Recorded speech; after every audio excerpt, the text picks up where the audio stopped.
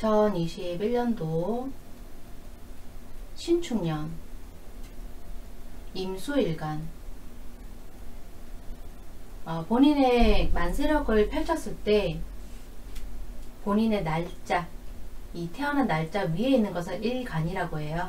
그 일간이 임수 이렇게 생긴 걸 임수라고 읽고요. 임이라고 읽어요. 그래서 임일간 분들께서 여섯 가지 일주가 있으시고 그리고 2021년도 신축년에 어떤 운을 맞이할지 전반적인 부분 인트로에서 설명 한번 드릴 거고요. 인트로는 23초 부분부터 아마 편집본으로 올라갈 거예요. 거기서 꼭 앞부분을 들어주신 다음에 그 첫 댓글에 보시면 타임라인 숫자들이 있어요. 본인의 그 일주 기둥에 맞춰서 혹은 월주가 이미 들어가 있으면 월주로 참고를 하셔도 상관은 없으신데 월주는 조금 더 해석이 들어가야 합니다. 그래서 일주나 월주에 본인이 대입을 잘 하셔서 2021년도 내년이죠. 그 신축년 운세를 꼭 참고를 잘 하셨으면 좋겠습니다. 자 그리고 채팅방에서는 당연하겠지만 모두 좋으신 분들만 들어왔으리라고 생각을 하고 자 이제 슬슬 방송을 시작하겠습니다. 여러분 반갑습니다. 자 2021년도가 제가 다른 일간들 할 때 워낙 좀 겁을 많이 주는 형태로 말씀을 드려서 무서워하시는 분들이 많으시던데요. 음, 너무 그렇게 걱정 안 하셔도 될 것 같아요. 역학이라는 것은 항상 변하는 것이고 저희가 전체 그 모든 분들이 어려움이 처한다고 하더라도 솔직히 경자년의 어려움도 미리 이 정도까지는 예측한 분들이 별로 없으시잖아요. 누구나 그래요. 누구나.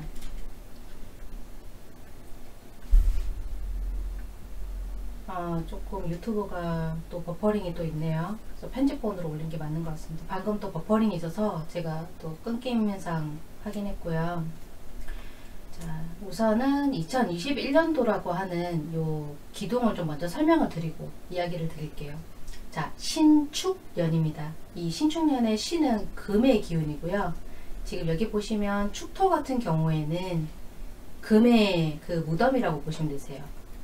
네, 여기 보시면 개신 기토 그러니까 개수 신금 기토 이렇게 묻혀 있는데 금 기운이 신유술이라고 하는 가을을 거쳐서 그 다음에 해, 자, 축이라고 하는 겨울을 거쳐 가지고 가장 끝에 오는 이 연도가 바로 신축년이고요. 그래서 금이 여기서는 이제 약해지는 부분이고 봄을 향해서 호랑이 인을 끌고 오는 기운을 가지고 있습니다. 자, 또 처음 보시는 분들이 있으실 테니까 이걸 또 적어 드릴게요. 자, 제가 지금 말씀드리는 부분은 꼭 들으셔야 되는 부분이고요. 이 축은 지금 제가 신유서보다 설명드리는 것처럼 해자축이라고 하는 겨울의 가장 끝 글자입니다. 그러면 임수일간 입장에서는 우선은 신금이니까 천간으로는 정인이 우선은 왔고요. 하지만 1년 동안 움직이는 천간의 연도의 이 기운, 하늘에서 움직이는 기운 같은 경우는 병화라고 하는 편제를 끌고 옵니다. 이게 화가 재성이거든요. 그래서 병화라고 하는 편제를 끌고 와서 병신 합으로 인해서 태음의 축축한 기운이 즉 여기서는 수의 기운이 움직이는 부분이에요. 그래서 임수들이 천간 기운으로 신금도 맞았지만 어우러져서 움직이는 기운 자체가 임임 이렇게 흘러가는 커다란 물기운이라고 보시면 됩니다. 아주 큰 물기운이고 축축한 부분이고 그래서 해자축의 끝글자인 축년이라고 하는 환경을 이 임자분들께서 이 임수분들께서 이제 맞이하게 된다면은 사실 토라고 하는 것은 임수 입장에서 봤을 때 관이에요. 여기서는 이제 정관의 기운을 해야 되는데 실제 관의 역할을 제대로 못할 거예요. 왜냐하면 축토라는 것은 토의 작용, 즉 관성의 작용이 활발하지 않은 부분입니다. 편관의 작용을 똑바로 해줘야 되는데 이 신축년에서 관성의 활동성이 활발하지 못하다. 왜 그러냐면 개수, 여기서 겁재, 그 다음에 신금, 방금 금이 활발하지 못하다고 했었어요. 인성작용으로서 활발하지 못해요. 그 다음에 기토라고 하는 게 이제 이 축토의 가장 본기에 해당하는 부분인데 얘가 바로 여기서는 정관이 됩니다. 임수일간 입장에서 임수 입장 입장에서는 관대지 환경도 되죠. 어쨌든 활발하지 못한 부분 때문에 예, 관의 작용이 이렇게 활발하지 못하다고 한다면 임수분들에게는 어떻게 보면 기회라고 할 수가 있어요. 어떤 기회일까? 축도 속의 금인성, 즉 편관성이 입고가 되는 부분이고 여기서 고는 창고고를 얘기를 하는 거고요. 제대로 어떤 노력을 하시게 된다면 원래 기술이라던가 어, 똑바로 어떤 직업관을 가지게 되면 거기서는 이제 굉장히 전문성을 가지고 제대로 하시는 분들이 물론 임수분들이신데 그만큼 보상이 따라주기는 좀 힘들다는 거죠. 내가 10만원 받을 것을 5만원 밖에 받지 못하고 어, 예를 들어 20만원 받아야 될 것을 절반 금액도 받지 못한다. 이런 어떤 보상의 부분에서는 좀 목표액보다는 떨어지지 않을까 이런 생각이 들고요. 어쨌든 본인의 그 이 금을 이제 가지고 오는 부분이니까 인성을 직업으로 하시는 분들, 특히 부동산이라던가 또 뭐가 있죠, 교육이라던가 어떤 기술을 가지고 먹고 사시는 분들, 현장에서 일하시는 분들, 뭐 IT에서 일하시는 분들 이런 분들 많으실 텐데 어, 전반적으로 그래요. 뭐 임자, 이민, 또 임진, 이모, 이제 임술까지, 임신, 임술까지 이제 여섯 가지 일주들이 있을 텐데 임일간분들 전반적으로 거의가 교육이나 기술업 뭐또 지금 언급들은 어떤 자격증을 가지고 계신 공인중개사라든가 큰 어떤 발주권이나 수주권들을 따낼 수 있는 가능성이 높아지고요. 신축년 전반적으로 봤을 때 그리고 사업을 내가 지금부터 벌여야겠다. 그러면 사업에 대한 어떤 확장 또 성장 이런 것들이 이루어질 수가 있을 것 같고요. 직장을 다니시는 분들 조직 그 사회에서 제가 몸을 담고 계신 분들 이런 분들은 어 조금 본인이 어디까지 목표를 둔지 모르겠지만 그 괄목할 만한 승진도 개인의 역량에 따라서는 이루어질 수 있는 굉장히 괜찮은 해 중에 하나가 되지 않을까 싶습니다. 왜냐하면 인성이 입고가 된다는 것은 답답해지는 것을 이제 걷어낸다는 뜻도 되고요. 나를 그동안 이게 발목을 잡고 있었던 것들이 걷어진다는 의미도 됩니다. 신축년에서 가장 중요한 것은 이 말씀드렸던 나를 답답하게 만드는 인성작용 그런 것들이 이제 학문이 될 수도 있을 것이고 수험생분들 중에서 재수하시는 분들도 있을 거잖아요. 그리고 부동산 또 학업 음 그렇죠. 그 자격증이라든 어떤 뭐 기술 이런 것들이 있을 텐데 어쨌든 이런 목표들이 거의 이루어지는 해라고 볼 수가 있어요. 신축년에 오는 이미 지금 해, 자, 축 지금 7일부터 이제 또 절기가 바뀌어서 해월로 넘어갔죠. 그 다음에 자월, 그 다음에 축월, 어, 실제로 우리 사람한테 오는 것은 이제 입춘이 지나고 나서 들어오는 거니까 양력으로 2월 초부터 신축년 운세가 사람에게 실질적으로 적용이 될 것이고 그 전부터 넘어와 있기 때문에 자격증이나 이런 부분들에서 발목할 만한 성장이 이루어질 것이라고 예상이 됩니다. 근데 여기서 그냥 끝이 아니에요. 왜냐하면 2021년도가 신축년인데 어, 지금 잘 보이시려면 모르는데 2022년도하고 2023년도도 2022년도가 임인년이거든요. 호랑이 해가 들어오고요. 2023년도 같은 경우는 개면년이라고 해서 이제 바뀌어요.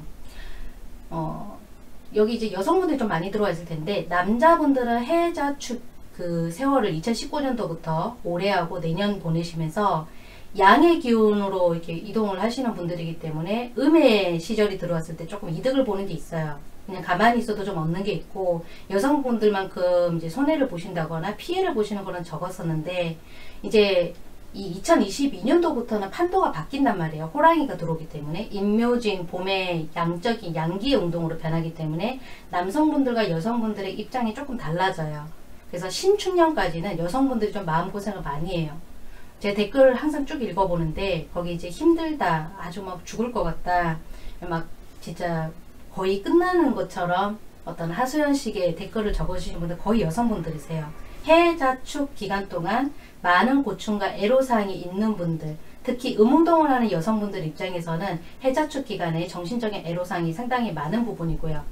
그리고 음, 이민 간 분들 중에서 이제 결혼을 하신 여성분들이 있을 거예요. 그럼 기존의 배우자분들의 운들이 어, 아주 소수의 일주 빼고는 거의 배우자 운이 지금 약해지는 시기고요. 근데 이게 축년에서 고비가 있는데 축을 만약 넘겼다. 내가 배우자의 어떤 뭐 별거라든가 이혼이라든가 이런 거를 이제 신축년 때 잘 넘기셨다 하더라도 인묘진으로 가시게 되면 즉 2022년도와 23년도에 가시게 되면은 배우자와의 그 관계 자체가 거의 소멸 직전으로 갈 수도 있어요.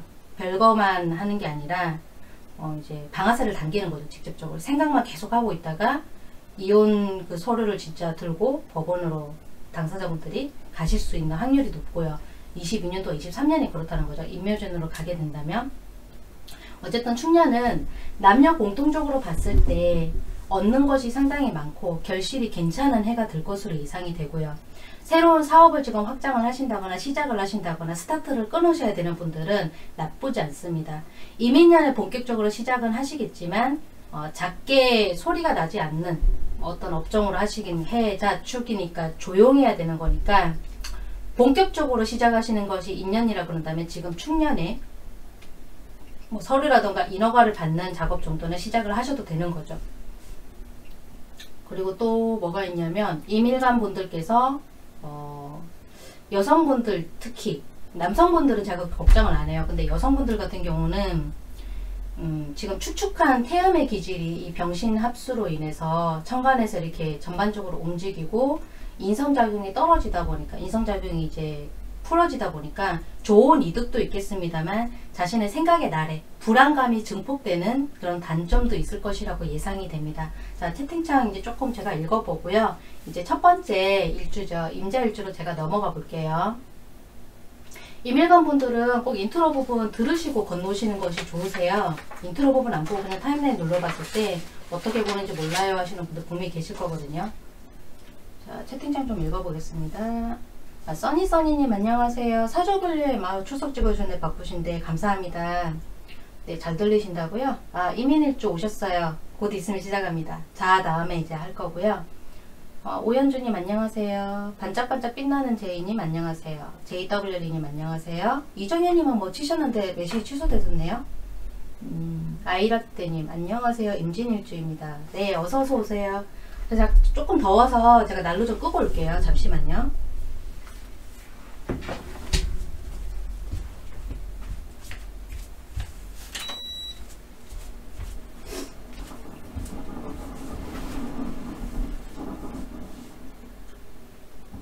음, 저 다시 왔어요. 지금 살짝 고민되는 게 편집하지 말고 그냥 그대로 업로드를 해버릴까 이런 고민도 좀 드는데 버퍼링 생각하면은 잘라야 될 것 같긴 해요. 중간에 혹시 버퍼링 생기면은 좀 그러니까 어. 자 임자일주 지금 제가 펼쳐놨습니다. 음? 어느 분이시죠? 아, 아 임자일주 분이세요? 아 그러시구나. 요즘 남편하고 계속 다투는 일만 생겨요. 음 그러시군요. 어, 임묘진 때가 좀 더 고비가 될 거라고 아까 언급드리긴 했는데요. 아무래도 임일간이니까 여성분들은 이제 양동으로 가게 되면은 좀 들썩들썩 할 수 있어요. 본인의 감정 조절을 잘 하셔야 되고 장기적으로 멀리 생각을 하시고 멀리 어떤 계산에 따라서 내가 그렇게 행동해도 될 건지 정말 신중하게 결정을 하셨으면 좋겠어요. 인묘년까지니까 2023년도까지 아마 고비가 되실 거예요. 그 부분에 있어서는. 아, 임신해 주세요. 안녕하세요. 아, 사조부님 감사합니다. 버퍼링 신경 조금 더 쓸게요. 아, 왜냐면 제가 가끔 다른 채팅방도 놀러 가는데 버퍼링이 좀 심한 경우는 아예 그냥 끊어지더라고요. 해외에서 방송하시는 분 채팅방 가보니까 저는 아직 그 정도까지는 아닌데 좀 걱정이 되긴 해요.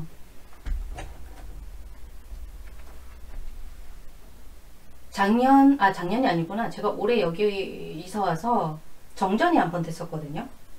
지금 겨울이라서 괜찮은데 음, 좀 버퍼링이 제가 예전에 있던 집보다는 좀 심한 것 같아요. 여름에는 괜찮을까요? 음, 그때까지 계속 여기 제가 살고 있었으면 좋겠는데 자, 첫 번째 일간이죠. 임자일주. 자, 일단은 배경 설명도 하고요. 타임라인 바로 찍으시는 분들 계실 테니까 2021년도 신축년, 그러니까 2월 초부터 입춘이라고 하는 절기가 있어요. 예, 호랑이 인월이 들어왔을 때 천지인의 순서에 따라서 즉 자월일 때는 하늘에게 그리고 추월일 때는 이제 땅에게 그리고 인 마지막이 사람인데 이때 인월이 들어옵니다. 그래서 자월일 때는 옛날에는 자월에 달력을 나눠주기도 했었는데 실제로 띠가 바뀌는 건 이때 바뀌어요. 그래서 2월 입춘이 됐을 때 입춘 전과 입춘 후로 띠가 나뉘죠.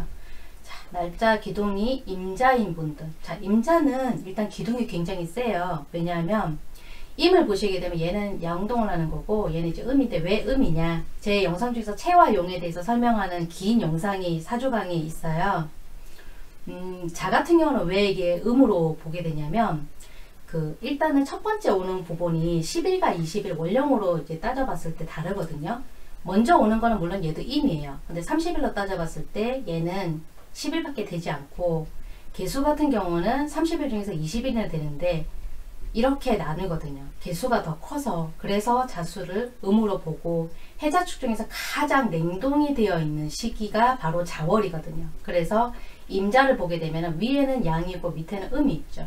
양과 음이 지금 이렇게 짝을 지어 있는 부분이고 그리고 저장하는 기운이 굉장히 큽니다. 이 임자일주 같은 경우에는. 지금 임자일주분 채팅방에 계시다고 인사 주셨는데 어 이제 이제 임수 또 동그라미를 제가 그려서 이렇게 보여드리면은 여기서 그리는 게 좋아요 여러분. 이걸 이미지화 못 시키시는 분들을 위해서 꼭 동그라미 그려야 되고 저도 동그라미 먼저 그려요. 강의 때도 그렇고. 늘 버릇을 이렇게 드리거든요 지금 보시면 수 그룹에 있는데 음양만 다르잖아요. 그래서 겁재라고 저희가 육친을 적고 그 다음에 이걸 이제 양간들만 양인이라는 표현을 해요. 양간들만 양인이라는 표현을 쓰는데 이건 이제 제왕이라고 하죠. 제왕지. 이건 12운성에서 이름이고요. 자, 신축년이 왔어요. 이건 2021년도를 제가 지금 적어놓은 부분, 이고 이렇게 신축년이 오게 되면은 신금 입장에서는 재성이 병화를 끌고 와요. 이 신금이 병화를 끌고 와요. 원래 신금 이 아이만 보자면 얘는 정인의 역할을 해야 하고 그리고 임일간 입장에서 보면은 병신이 서로 합의되니까 이것도 이제 수의 커다란 기운이 된단 말이에요. 근데 임수가 봤을 때 또 수의 기운이 천간에서 놀고 있으니까 그냥 순리대로 흘러가면 되는 것들이고 에너지가 점점 점점 원 플러스 원처럼 더해지는 거죠. 그래서 천간에서는 굉장히 유리하게 올라갈 수 있어요. 임자일주분들 입장에서는. 그런데 이제 충년이 왔다. 그래서 임자일주가 이렇게 충년을 맞게 되면 자축이 서로 합을 일으켜요. 자축이 합을 일으켜서 얘도 또 합을 일으키게 되면 관의 작용이 커지게 되죠. 이게 토에 그 작용을 하게 되는데 토라는 거는 원래 브레이크 작용을 하는 게 토잖아요. 각 계절의 끝에 있는 것들. 어, 임자일주가 어떤 일주인지 모르시는 분들에서 조금 배경 설명도 해드릴게요. 치우쳐져 있고요. 일단 겁재를 깔고 있으니까 음과 양이 지금 보시면 위에는 양이고 밑에는 음이잖아요. 그래서 이게 약간 치우쳐져 있어요. 조금 고지식한 얘기는 편중성이 있다라고 표현을 할 수가 있는 부분이고 그리고 양간이기 때문에 이 임수가 양간이기 때문에 양인을 가지고 있는 일주죠. 또 기운이 좀 더 많아요. 다른 뭐 임인이라든가 임진이라든가 이런 글자들이 좀 많은데 임일간 중에서도 파워가 좀 더 넘치는 기운이 아주 어벤져스급인 그런 일주라고 볼 수 있고 또 치우쳐져 있는 부분이 약간 꼬아서 받아들일 수가 있는 부분이거든요. 이거는 임자일주뿐만이 아니라 자월에 태어난 임수분들도 마찬가지예요. 자월에 태어난 한겨울에 아주 냉동 시기에 태어나신 분들 이분들도 같은 얘기고 이분도 공망을 보게 되자면 자에서 임을 빼는 거니까 구를 빼게 되면은 마이너스 8이 나오고 12를 더하게 되면은 인묘 이 3번하고 4번이니까 인묘 공망이 돼요. 식상이죠 여기. 즉 여기서는 식상 공망이 돼요. 이분들 원래. 그래서 식상 공망의 뜻이 뭐냐면 식상이라는 거는 먹고 살 수 있게끔 자신의 어떤 능력 또 이런 부분들 때문에 원체 배우자 글자 이 자리에 겁재를 깔고 있는 일주들이라서 어떤 배우자 자리 자체가 약간 불안정한 분들이시기도 하거든요. 아까 언급하신 그 채팅방을 보고 얘기한 게 아니라 원래 이 자리를 보게 되면 저도 이제 간여지동이지만 간여지동 저는 기축이거든요. 제, 제 일주는 기축이에요. 그래서 배우자는 어디 가서 제 거를 물어보게 되면 항상 불안정하다고 얘기를 해요. 배우자 복이 없다거나. 근데 임자 일주들도 그런 얘기를 들을 수 있는 일주예요. 거기다가 식상공망이기 때문에 이 임자 일주가 여성분이시라면 이 목에 해당하는 식상이 바로 자식이 되는 거죠. 그리고 식상이 없게 되면 식상공망이라고 한다면 식상이 아쉬울 때 재성을 생해줘야 하는데 재성에도 문제가 생길 수가 있어요. 재성이 뭐냐고요? 그 남자한테 이걸 대입을 하게 되면은 부인, 배우자 복도 되고 금전도 되고 여러분들 좋아하시는 거 돈에 대한 거 또 젖줄기입니다. 젖줄기 모유 어머니한테 꿀꺽꿀꺽 우리가 사랑을 받아야 하는 젖줄기라고 할 수 있어요. 음, 지금 이 젖줄기를 얘기를 하는 부분은 이제 정제와 편제라고 하는 그 수입운, 금전운, 활동성을 이야기할 때 임자일주의 이 자가 해자축 겨울에 해당하는 부분이고 재성 입장에서 봤을 때는 재성은 여름에 가장 왕성한 기운인데 바로 절태지에 놓이게 되는 부분이거든요. 이 자라는 글자 자체가. 그래서 재성이 일단은 불안정한 분들이시기도 해요. 그럼 남자 입장에서도 남자 임자일주라고 한다면 이 화가 지금 자를 봤을 때, 즉 여름 글자가 겨울을 봤을 때 배우자 운이 어, 운폭이 에너지가 떨어진다는 거죠. 불안정해질 수 있고 이건 마찬가지예요. 여성분들도 아까 겁재라고 해서 제가 불안정한 것도 있겠지만 겁고로 토를 관성으로 지금 보시게 되면은 이것도 이제 여성 입장에서는 남편의 운이 되는 거잖아요. 그 관성도 토는 화의 기운을 빌어서 12운성을 계산해 보시면 똑같거든요. 절대제 도이게 돼요. 그러니까 임자일주들은 배우자에 대한 부분들은 원래 떨어지는 부분이고 어, 인, 그 원래 뭐 말씀드리자면은 올해 잘 풀리는 쪽이 주로 기술 가지고 있는 분들 또 어, 재단이라던가 어떤 장학재단 또 교육업을 하시는 분들 현장에서 라이센스를 가지고 전문적으로 인정을 받는 직업군에 계신 분들 이런 분들은 올해 괜찮아요. 일이 잘 풀리고 다만 그게 왜 그렇게 돌아가냐면 식상이 공망이니까 공망을 쳐다보고 움직이는 부분이라서 자기가 항상 그 부분에 대해서 투자를 많이 하고 또 갈증이 있어요. 그런데 경제적인 성공을 이룩하시는 부분에 있어서는 음, 보상이라던가 또 아까 뭐 10만원, 20만원 언급을 드리긴 했지만 내가 신축년에 이만큼 승진하기로 마음을 먹었었는데 어, 올라가기로 했던 자리가 제대로 감투가 나한테 돌아오지 않아서 아쉬울 수 있는 해긴 하거든요. 그리고 아까 배우자운에 대해서 얘기를 하다가 만개 있었는데 이 자축 합이 돼가지고 관으로 들어오게 된다면 여성분들은 조금 더 답답해질 수가 있어요. 또 남성분들 같은 경우에는 회사에서 어떤 결과를 뽑아내기 위해서 좀 희생을 많이 당하는 그러니까 관이라고 하는 것이 나를 제압하는 부분인데 임자라고 하는 거를 이제 쉽게 말씀드려 자오묘유 즉 자오묘유 중에서 자고 어, 제왕지에 지금 이렇게 엄청난 힘을 깔고 있는 얼음 폭탄 같은 것을 끌고 있는 부분이기 때문에 에너지가 굉장히 좁은 자리에 쑤셔 넣어져 있는 자리란 말이에요. 에너지의 폭으로 봤을 때. 근데 관성작용이 있게 돼서 강하게 제압을 하게 되면 더 답답해지고 어, 더 코르셋을 쪼인 것 같은 그런 에너지의 그 답답함이 있을 수가 있겠죠. 인성의 답답함하고는 좀 틀려요. 관으로 눌러주는 부분이기 때문에. 올해 신축년은 원래 이 자축합이 안 이루어졌었다면 금이 입고가 되는 부분이니까 전반적으로 인성이 확 풀어져서 인성의 방해작용이 없어져서 괜찮긴 한데 내가 결과물을 얻어내기 위해서 남녀노소 고충이 조금 따르겠다. 하지만 결과적으로 신축년이 거의 끝마무리가 됐을 때는 배우자 운과 그냥 별개로 어떤 사회적인 운동성 또 사회적인 어떤 성취감에 있어서는 꽤 만족하실 만한 한 해가 되실 걸로 예상이 되고요. 음, 돈은 또 어떻게 되나요? 금전운은 어떻게 되나요? 라는 질문이 분명히 들어올 것 같아요. 어, 사회적인 보상 어쩌고 얘기를 했는데 이게 겁재를 깔고 있는 분들이라서 본인의 그 태어난 계절이 입장이 다르시겠지만 실컷 열심히 결과물을 만들어내고 또 해년 경자년보다 굉장히 많은 돈을 벌었어요 실제로 신축년 때. 그런데 이 많이 벌었던 돈을 주변 사람들한테 뺏길 수가 있어요. 요거는 조금 조심하셔야 되시고 이게 자가 씨앗도 되거든요. 그래서 에너지가 크다고 말씀을 드린 건데 이분들이 원래 좀 조심하셔야 되는 게 부부 관계에 해당하는 이야기도 있겠지만 어, 남녀노소 애정사 저 잘하는 것 자체가 씨앗이라든가 비밀스러운 글자들이 많아요. 올해가 경자년이었잖아요.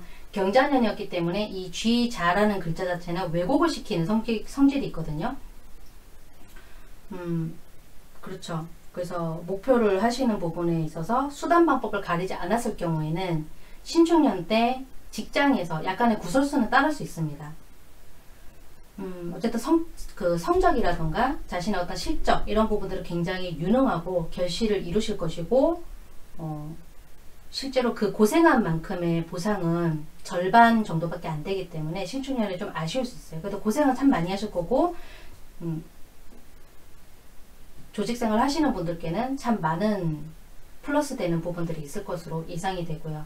남자분들이 조금 더 유리하시죠. 왜냐면 신축년까지는 음의 운동을 하는 부분이니까. 임묘진이 이제 시작이 되는 2022년도부터는 탄도가 바뀔 것이고 부부관계가 현재 위태위태하신 분들 특히 여성분들 여성분들 신축년 고비예요. 이거 넘기셔야 되거든요.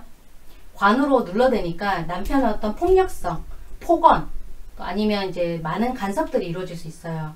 근데 그게 이제 여기서 끝이 아니라 2022년도 호랑이해 이민년 들어오고 2023년도 이제 개묘년 들어오게 되면은 어, 도저히 나는 못 참겠다. 나는 다른 쪽으로 그냥 바라봐야지 해서 남편과 그냥 이제 관계 자체를 정리를 하시는 분들도 많으실 것 같아요.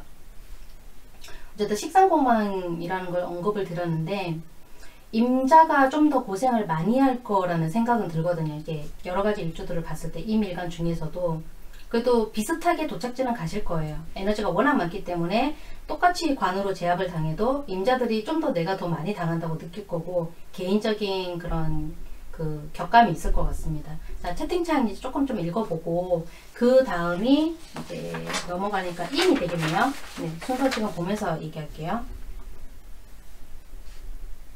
어, 많이 들어오셨네요. 어, 네, 칼렌님부터 제가 한번 읽어볼게요. 왜 병활주를 질문 주세요? 병활주. 지금 이밀간 하는데요. 병화 제가 언제 했었죠? 꽤 오래전 했는데. 이건 넘어가겠습니다. 죄송합니다. 임잘주 남자입니다. 아델라이 병화에는 죄송 지금 이밀간 하고 있습니다. 이밀간. 이밀간. 그리고 반짝반짝 아 개인 사주 올려주시면 안 돼요. 이거 숨기기 눌러야 될 것 같아요. 다른 분들 보실 수 있어요.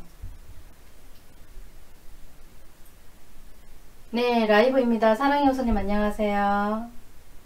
네, 창님 원래 딴 돈에 반만 가지고 갑니다. 괜찮습니다. 재판님 안녕하세요. 네. 병화는 제가 한 몇 달 전에 올리지 않았나요? 꽤 됐던 것 같은데 이밀간한테 재성이에요. 지금 동그라미 그린 거 보시면은 병화정화는 임수일간 입장에서 재성을 이야기한 거예요. 제가 틀리게 얘기한 게 아니고 공부 다시 해보시면은 뭔 얘기인지 아실 거예요. 여기서는 관성이 토고 재성이 화입니다. 그래서 그걸 얘기를 한 거고 병화 입장에서 이제 자년이 어떻다, 충년이 어떻다 그 얘기를 한 거죠. 병화는 여름에 왕성하기 때문에 이제 해자축 그러니까 재성 입장 병화가 여기 재성에 해당하는 거잖아요. 이밀간한테 그 재성이 병화 정화니까 그래서 해자축 우리가 지금 충년의 운을 보는 거니까 해자축 때는 병화가 확 줄어들죠. 절, 절지 아니면 태지가 놓여 되겠죠. 병화 정화 입장에서 둘 다 보게, 보게 된다면 그래서 그 얘기를 해드린 거고 음. 아, 네. 임술일주 가장 마지막에 할 거예요. 제가 조금 속력 낼 거예요. 어, 네. 임술일주도 기다리시네요. 자, 이밀 넘어가도 될까? 이밀? 자, 정신 좀 차리고. 죄송해요. 입이 좀 말라서.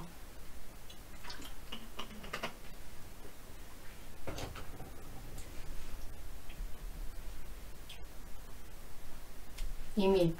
임인. 임인.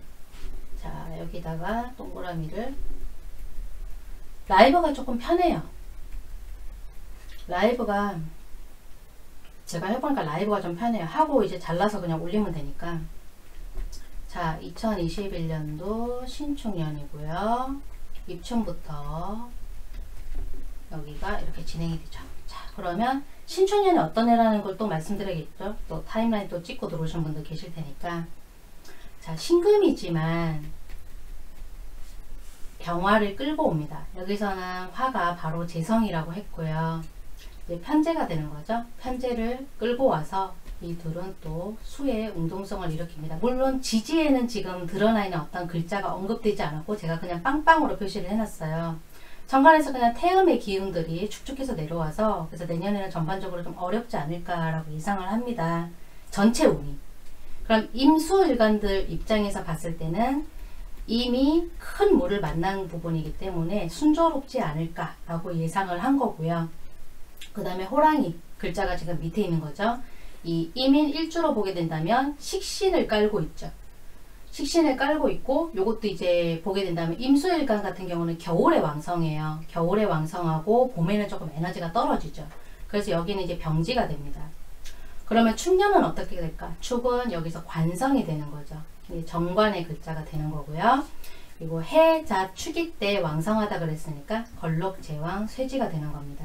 임수 일간에서 봤을 때. 근데 축과 인 같은 경우는요. 어, 지장간끼리 서로 이제 몰래 몰래 몰래 합을 한다는 여러분들 잘 아시는 암합의 관계예요. 음, 이것도 천일기인이 어떻게 되는지 아세요? 임수일간 분들 천일기인이 묘하고 사가 원래 천일기인이거든요. 아까 자할 때는 제가 언급을 안 드렸는데 이 천일기인이 원래 이 두 글자예요. 근데 두 글자 중에서 지키려고 하면은 형충 공망을 당하면 안 된다라고 하는 조건이 있어요. 글자가 막 찌그러지네요.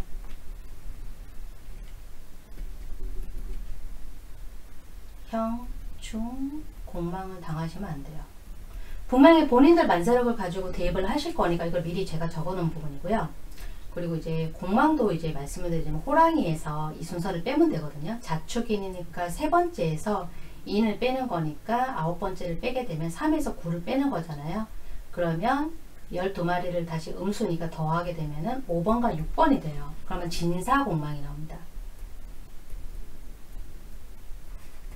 자, 진은 또 이제 관성이 되죠. 얘가 보면 이제 평관이랑 사화니까 재성이 걸리죠. 관성과 재성이 공망성이 걸리는 일주입니다. 그러면 재관이 공망에 걸린다는 얘기는 활동성이 위축이 될 것 같다는 이제 예측이 드는데 원래 일주 자체가 신축년은 이렇게 암합이 되는 관계로 들어왔다 그랬잖아요. 음, 원래 이민일주가 먹고 사는 부분에서는 크게 문제가 그렇게 좀 걸리는 일주가 아니에요. 왜냐하면 이 식신이라는 것 자체도 그렇지만 지장간을 까봤을 때 이렇게 밑에 있는 장독대 같은 지장간을 까봤을 때 무토, 그 다음에 병화, 그 다음에 간목이라고 하는 글자를 품고 있고 이 축이라는 것은 개신기 이게, 이제 지금 우리가 얘기하는 인성의 무덤이죠. 이 금의 무덤이죠. 금이 이제 묻히기 때문에 임, 그 임일관들한테 대체적으로 좋지 않을까 유리하지 않을까라는 얘기를 들었는데 보시면 암압의 관계가 맞죠. 서로 딱딱딱 봤을 때 그럼 얘는 지금 관이에요. 편관이고 재성이죠. 편재죠. 그 다음에 간목이니까 여기서는 식신이에요. 그 다음에 개수도 보시게 되면 여기는 겁재죠. 아이고 또 버퍼링이 또 생기네요. 예, 지금 또 눌렀습니다. 살짝 끊겼을 거예요. 제가 지금 눌렀어요. 그 다음에 신금 여기 또 임수죠. 임수 입장에서 봤을 때 정인이 되고 그 다음에 기토는 또 관성인데 정관이 됩니다. 이렇게 지장간을 쭉 적어 놓고 보게 되면은 이제 인 같은 경우는 양의 운동을 하기 시작하는 글자이고 얘 같은 경우는 음의 운동을 이제 접는 부분인데 실제로 음 운동은 신에서부터 시작을 해서 진까지 오게 되죠. 가을부터 시작해서 겨울에 굉장히 왕성한 음 운동을 펼치고 음 운동이 이제 끝나서 죽는 것이 바로 진이라고 하는 수의 무덤에서 끝이 나는 부분인데 축은 그 가운데에서 겨울을 마무리를 하고 있어요. 그러니까 이렇게 이민이라고 하는 일주를 가지고 있는 분들이 충년을 맞이하게 되면 또, 또 어떤 일이 생길까? 식신을 깔고 있는데 과연 식신을 쓰는 것인가? 이걸 또 따지고 볼 수가 있어요. 여성과 남성들은 또 입장이 좀 다를 텐데 식신 자리를 보게 되면은 이 식신이 호랑이 자리잖아요. 근데 자세히 보세요. 이 호랑이가 아주 중요한 글자의 장생지가 돼요. 그게 뭐냐? 병화. 병화의 장생지예요. 병화는 사오미 여름에 왕성하단 말이에요. 그러면 인묘진에서부터 장생, 목요, 관대 이렇게 흘러 들어옵니다. 즉 시작이 되는 거죠. 겨울 기운이 가을에서부터 시작을 하는 것처럼 여름 기운은 봄에서부터 시작을 하는 거죠. 그래서 병화의 기운의 장생지가 호랑이에요. 병화는 바로 여기서 뭡니까? 편제잖아요. 편제 장생지를 깔고 있으니까 먹고 사는 데 있어서 크게 다른 일주들에 비해서 괜찮다는 거죠. 그, 래서 그런 논리 위에서 이야기를 드렸던 부분이고 이 편제로 인해서 남자분들 같은 경우는 가만히 있어도 결혼을 하시게 될 경우 부인의 기운으로 인한 그 복을 받는 내가 좀 덕을 본다는 게 바로 이런 부분이에요. 나는 가만히 있는데 생활력이 상당히 괜찮은 부인을 내가 얻어서 이 부인 때문에 내가 어떤 가게를 같이 한다거나 아니면 뭐 인터넷 사업을 같이 한다거나 내가 약간 숟가락만 얹게 되면은 괜찮게 따라가는 형태가 될 수가 있어요. 그러니까 즉 재성의 덕을 보는 거죠. 하지만 남자든 여자분이든 여성분들 입장에서도 마찬가지지만 관계가 안정적이지는 못해요. 이 임수 자체가 글자가 이렇게 치우쳐져 있는 글자이기도 하고 약간 편향이 돼 있어요. 식신만 깔고 있다고 해서 좋은 게 아니라 관성과 재성을 봐야 되는데 관성은 지금 뒤에 본기가 아니기 때문에 흔들리는 부분이 있어요. 어쨌든 남자든 여자든 이밀관 분들 전반적으로 봤을 때 소수만 빼고 정말 개인적으로 소수만 빼고 배우자운이 안정적인 분들은 거의 없으세요. 그래서 노력을 좀 많이 하셔야 되는데 여성분들은 이민일주도 마찬가지겠지만 어, 지금 충년에 어떤 정신적인 애로라든가 고충이라든가 있게 된다면 배우자의 관계가 좀 벌어질 수가 있고요. 그게 인묘진 22년도, 23년도로 가게 된다면 어, 충년의 고비를 넘겼다고 하더라도 남편과의 사이가 더 벌어질 수 있는 여자들이 이게 양운동을 시작을 하게 되면은 본격적으로 생각만 했던 것을 진짜 실천으로 옮겨버릴 수가 있기 때문에 이거는 조금 장기적으로 많이 계산을 하시고 행동을 하셨으면 좋겠습니다.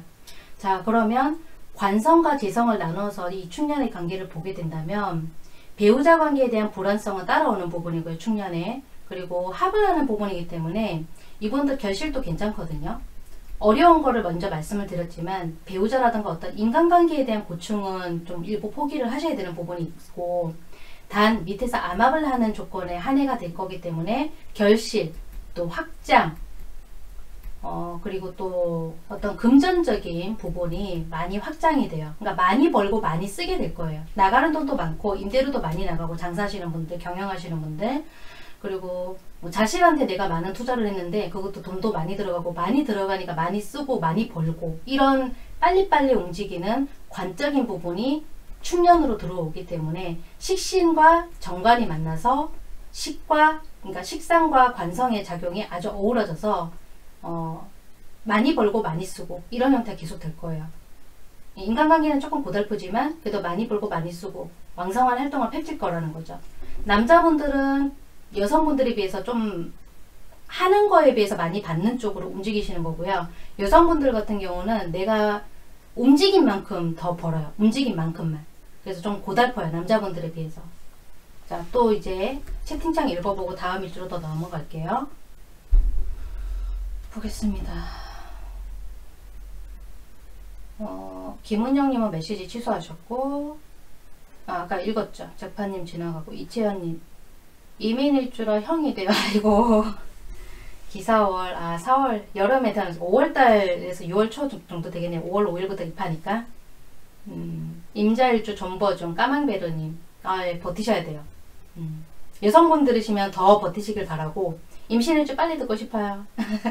좀만 기다리세요. 진 끝나고, 이제, 그죠? 빨리빨리 잘 지나갈 것 같은데, 어, 이 누구시죠?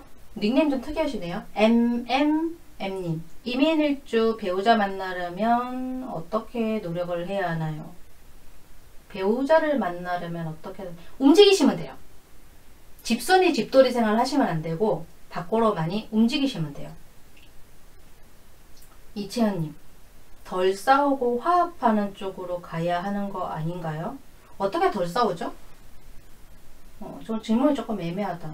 무조건 맞춰주는 것이 좋은 거는 아니에요. MMM님 직장인은요? 음, 직장인 분들도, 아, 제가 장사하는 분들만 너무 언급을 해드렸구나. 예, 직장인 분들도 괜찮아요. 왜냐하면 앞에 인트로 부문에서 언급을 드렸는데, 식신을 깔고 있는 부분이라서 프리랜서라던가, 뭐, 예술 활동 하시는 디자이너, 혹은 자기를 많이 표현해야 하는 어떤 배우, 엔터테인먼트 쪽으로 일하시는 분들, 직장인도 마찬가지예요. 그냥 수동적으로 일하시고 반복되는 업무, 변화가 거의 없는 업무를 하시는 분들은 운의 체감이 좀 덜하고요.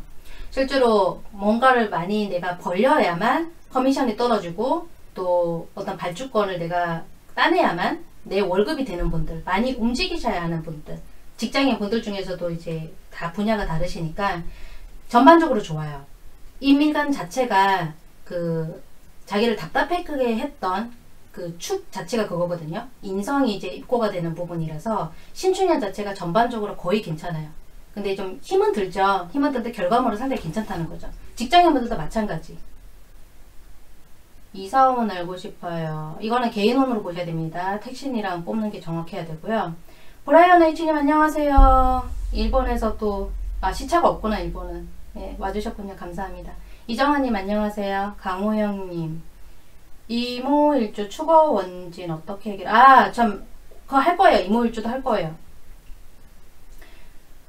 근데 원진은 여러분, 아, 이제 쭉쭉 그럼 이따가 제가 얘기할게요. 이건 아직, 아직 1조 안 됐으니까. 아마비면 바람을 피기니 누구예요? KWI님. 아마비면 바람을 피겠네. 사람에 따라서요. 사람에 따라서. 대한 언급이 없잖아요, 이거 지금. 뭐 그럴 수도 있겠네요. 바람을 피겠네. 저렇게 말씀하시면은 보시는 시청자분들이 어떻게 받아들이실까. 네. 말을 아끼겠습니다. 네. 그냥 의견을 주신 거니까. 이게 순서가 진인가요? 어, 인 했고, 이제 진이죠. 2021년도 신축년 2월 초부터 들어오고요. 뭐 음력을 보냐 윤달을 보냐 이렇게 적으셨는데 제가 언급드린 건 양력도 아니고 음력도 아니고 절기거든요. 여기서 2월 초라는 건 양력입니다. 글씨가 또 점점 찌그러지는데 자 신축년 신축년은 지금 또 동그라미를 그려보자면 자 자꾸 찌그러지네 글자가 자, 좀 예쁘게 좀 하고 싶은데 자 신금이 들어왔지만 여기서 편제를 끌고 옵니다. 그래서 금의 글자뿐만이 아니라 이제 사실은 수의 기운을 가지고 들어오는 거죠. 수의 기운이 천간에서 움직여요. 이 2월달부터 움직이는 하늘에서 도는 기운 자체가 수가 움직이기 때문에 임수는 흘러갑니다. 망망대를 타듯이 큰 물들이 흘러가고 그리고 축이라는 글자에서는 이제 신 우리 2016년도부터 신 병신년이었죠. 그러니까 신 유 술 이렇게 정유년 무술년 이렇게 쭉쭉쭉쭉 흘러갔는데 금이 이 인성이 입고가 되는 거죠. 인성이 입고가 되는 바로 축년이 옵니다. 그러면 임진일주의 특성을 더 말씀드리고 축진이 또 파에 작용을 하는 거라 이것도 이제 얘기를 드려야 될 것 같아요. 일단 임진은 보시는 바와 같이 관을 그것도 편관을 이렇게 깔고 있어요. 음? 지금 뭐가 긴 게 올랐는데 잠깐 좀 읽어봐도 될까요? 뭐가 지금 길게 쭉 올랐는데 선생님 어? 누구예요 이거? 임잘주 했어요. 어디 갔다 오셨나 보다. 안 본지 좀 임잘주 했어요. 하자마자 인트로 끝나고 했어요. 지금 진이에요 진. 저는 정사일주 임신일주고요. 또 뭐예요? 전 남친은 16월 정묘일 바람 펴서 헤어졌는데 안 따. 무서워서 사주랑 연관했는데 사주는 성향을 보는 거고 지금 주신 것만으로는 제가 뭐라고 얘기를 못해요. 예, 저 저거 주신 거 가지고 어디 가서 저렇게 질문하시면 어떻게 대답을 받으실까 모르겠는데 일보만 가지고 지금 질문하시는 거잖아요. 많은 분들 중에서 정묘를 가지고 오신데 저 일주가 다 바람을 필까? 그건 아니지 싶은데요. 너무 사주에 그렇게 모든 걸 다 끼워 맞추는 거는 별로 안 좋은 부분 같아요. 그 서양 별자리 있잖아요. 서양 별자리 얘기가 잠깐 좀 얘기 드리고 싶은 게 있는데 저 같은 경우에는 금성이 쌍둥이 자리에 있어요. 근데 이제 단식 판단하시기 좋은 분들 같은 경우는 쌍둥이 자리에 금성이 있으면은 바람을 핀다라고 얘기를 하거든요. 근데 저는 아니란 말이에요. 변수가 있단 말이에요. 여러분 모든 쌍둥이 자리가 바람 피는 거 아니에요. 금성이 거기 있다고 해서. 예, 그래서 바람 피는 것도 사주에 너무 맞추지 마시고 좀 정확하게 공부해서 직접 보시는 게 좋을 것 같아요. 만약 좀 급하시다면 물론 상담 받으시는 게 정확하겠지만 그것도 케바케거든요. 자기한테 맞는 선생님한테 가서 정확하게 상담 받으시는 게 좋고 그 자신이 없으시면 본인이 공부하시는 걸 추천드려요. 아 이제 왔어요? 네 편집해서 올라갈 거고 요거 지금 스크롤 있잖아요 여러분 지금 이 방송에서 앞쪽으로 이렇게 당기시면은 앞에 거 볼 수 있어요 앞으로 쭉쭉쭉 당겨 보세요 이렇게 핸드폰에서도 이렇게 손가락으로 하시면은 볼 수 있어요 그 부분 당겨서 보세요. 음, 제가 조금 열받았나봐요. 요거 좀 뜨거운데. 임진 얘기하다가 지금 제가 헛소리 했죠. 채팅방 보고. 집중하겠습니다. 자 관을 깔고 있다고 했습니다. 그러면 이 임수는 겨울에 왕성한 글자이기 때문에 인묘진일 때는 에너지가 떨어집니다. 그래서 겨울에는 일단 왕성해지는 거니까 해자축일 거고 해자축 다음에가 뭡니까? 인묘진이죠. 그러면 이 진에서는 사실 글자 두 개가 신금하고 어, 여러분들 공부하신 분들 알 거예요. 이 두 개가 여기서 입고가 되는 글자예요. 이게 이제 인성이죠. 그리고 임수는 바로 본인의 비견이 되는 거고. 근데 이 두 개가 지금 보면 파작용이 일어났어요. 일단 고지끼리 파가 이렇게 이루어졌는데 파라는 것은 예전에 다른 일간 얘기할 때도 한번 언급드린 적이 있었는데 깨지는 부분이거든요. 깨져요. 깨졌다가 깨지기만 하는 게 아니라 다시 붙어요. 다시. 다시 붙는 거. 이게 중요해요. 일단 깨지는 게 다가 아니라 다시 만나요. 이게 배우자 자리잖아요. 여자들은 특히 더 세게 받을 것이고 어, 우선은 정리를 좀 해드리자면 이분들이 공망을 계산했을 때 오미 공망이에요.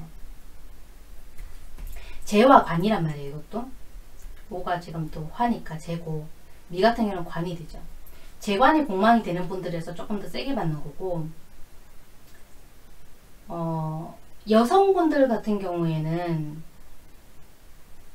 잘 지내다가 남편분들하고 잘 지내고 아무 문제가 없었는데 이때까지 정말 그냥 뭐 겉으로 보기에는 별 문제 없었는데 애로상이 생길 수가 있어요. 잘 지내다가 그리고 이 임진이 공부하신 분들은 또 이제 아시겠지만 괴강이라고 하는데 연이나 연 하나에만 이렇게 괴강이 있으면 괴강 그 글자가 좀 약해요. 그러니까 거의 안 본다고 보시면 되고 두 개 기둥이 같이 괴강이 돼 있거나 아니면 1에 이렇게 괴강이 있게 되는 경우 이거 지금 제가 일주라고 거의 얘기를 하는 거니까 1에 괴강이 있는 경우는 괴강 역할을 할 수가 있거든요. 잘 지내다가 갑자기 뒤집어지는 게 괴강의 속성이에요. 뭐 남편 일이 지금까지 괜찮았는데 갑자기 충년에 뭔가 일이 생긴다거나 아니면 이미 경자년 때 어떤 징조가 있어가지고 남편 사업이나 그런 괜찮았던 일들이 흔들리는 거죠. 부도가 나는 것처럼 흔들릴 수가 있고 어, 사업에서도 마찬가지 그런 고저가 좀 있어요. 그리고 이 관이라는 거는 여성분들한테만 남편 거고 남편의 부분이고 사업인 부분이고 남자분들 입장에서는 정관 편관이 자식에 해당하는 부분이거든요.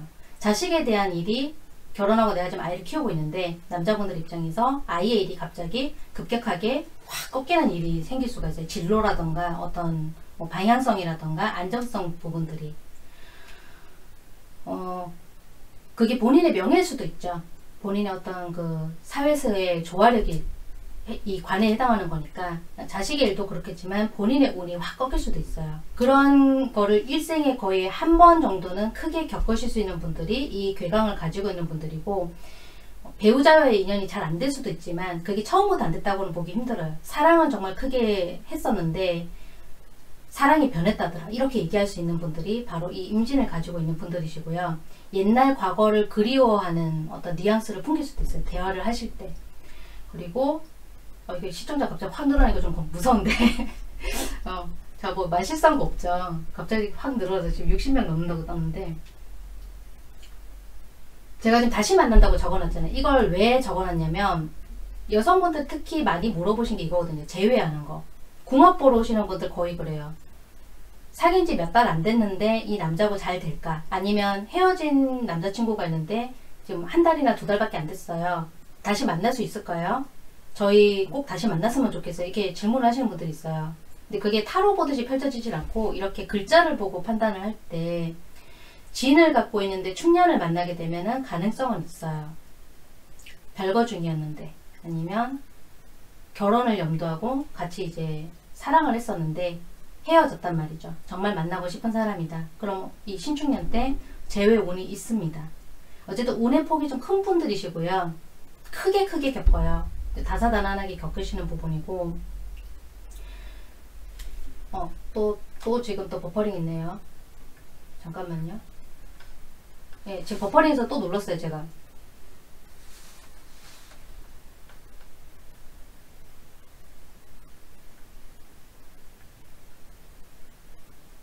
음, 잠깐 끊어졌었어요. 지금 괜찮을 거예요.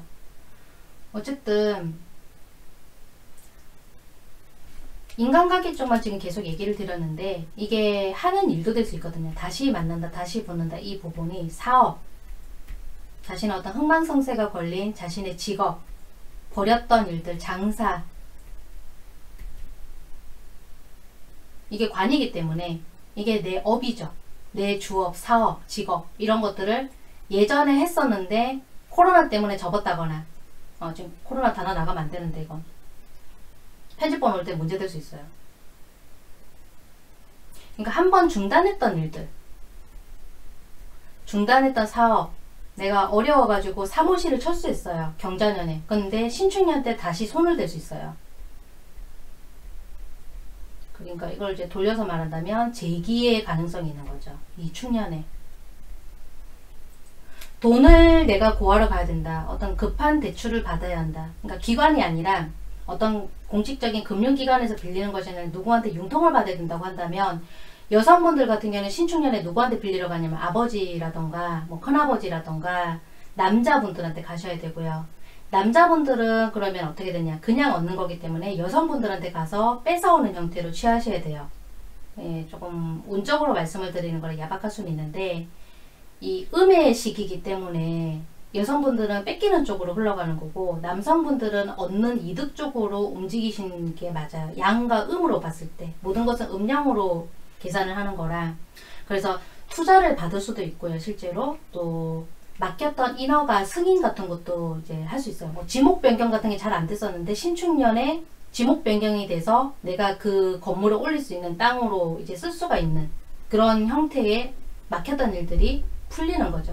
신축년 상반기, 하반기 뭐 이렇게 쭉 보자면 아무래도 하반기가 될 가능성이 많아요. 양홍동 쪽으로 돌아서는 부분이다 보니까 예, 개신기 흐름에서 신이 끝나고 기토의 흐름으로 바뀔 때 아마 어, 여름 8월 8월 초부터 그 흐름이 바뀔 거예요. 그래서 음, 임진일주들이 힘들었던 게 올해 경자년 같은 경우에 이제 힘들었던 분들만 추려서 말씀드리면 왜 힘들었냐면은 진이 자를 만나게 돼서 그래요. 2020년에 우리가 경자년을 지금 지나고 있잖아요. 아직 몇 달 남았어요. 임진이 이렇게 만나게 되니까 진하고 자를 만나게 되는 거죠. 그래서 진하고 자가 만나게 되면은 임의 입장에서는 이게 거대한 수의 운동으로 바뀌게 되는 거니까 신자진이 그 수의 운동인데 자진이 만난 거죠. 그래서 비겁 비겁을 이제 묶이는 거예요. 비겁으로 묶여가지고 내 주변 사람들한테 내가 이렇게 빼들어오는 것이 아니라 내가 뺏기는 형태가 되어서 경자년이 힘들어졌을 가능성이 높아요. 굳이 논리를 찾는다 그런다면 그럼 축년에는 그렇게 되지는 않을 거라는 거죠. 축에는 인성이 입고가 되는 부분이고 인성이 지금 여기서 금이죠. 음, 그래서 답답했던 부분들이 묶였던 부분들이 풀릴 수 있다. 그렇게 또 계산이 나옵니다. 음. 그러면 경쟁을 하시는 분들, 이제 조직에 계신 분들, 그러니까 직장인 분들은 또 상황이 어떻게 된다면 남자들보다는 여자분들이 좀 더 경쟁에 대한 부분을 심하게 겪을 수가 있거든요. 특히 이제 충년 같은 경우에는 내가 너무 많은 것을 벌려가지고 어떤 많은 자금들을 확보를 했어요. 실제 어떤 사업을 다시 벌려볼 거라고 사업을 이제 재기를 할 거라고 왜냐면 사업을 하려면 돈이 필요하니까 근데 그 돈을 가족들한테 목돈으로 뺏기는 일이 발생을 하거나 그 돈을 고스란히 누군가한테 다시 줘야 하는 상황이 생긴다거나 또는 어떤 상가 건물에서 유사 업종들이 이렇게 모여있는 곳에서 하게 되는데 내 아이템을 누가 그대로 컨텐츠를 베껴가는 거죠. 벤치마킹 하는 게 아니라 그냥 그대로 도용을 하는 거죠. 내 경쟁자들한테 그것을 그 갑작스럽게 갑작스럽게 내가 경쟁해서 어, 뺏기거나 밀리거나 그런 일들이 벌어질 수 있는 그게 충년에서의 위험 부분이고 제기를 하시는 분들은 그래서 경쟁에서 이길 수 있는 확실한 키를 가지고 움직이신다거나 아니면 자금에 대한 어떤 안전장치를 좀 해놓고 시작을 하시는 것을 추천을 드려요. 믿을 만한 사람이 또 자기를 속일 수 있으니까 그런 인간관계에서의 안전장치 남자보다는 여성분들이 특히 더 그런 안전장치가 필요해요. 자 그러면 제가 빠뜨린 거 혹시나 좀 생각 중이고요. 어, 없으면 이제 채팅창 잠깐 읽고 그 다음으로 넘어갈게요. 아마 이모일주가 될 것 같아요. 아, 아이라떼님, 맞아요. 무술년부터 계속 힘들었어요. 닉네임 보니까 여성분인 것 같은데 맞나요? 아이라떼님?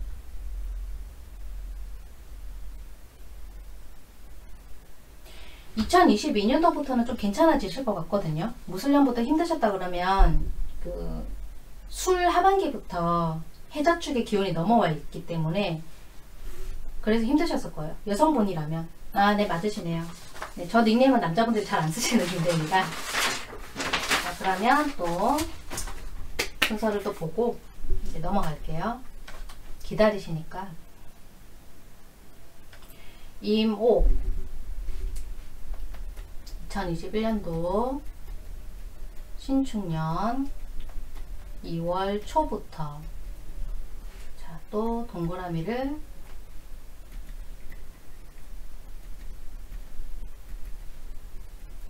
빨간색으로 그리는 게 좀 눈에 잘 들어올 것 같아요. 음, 잘 보이시나요?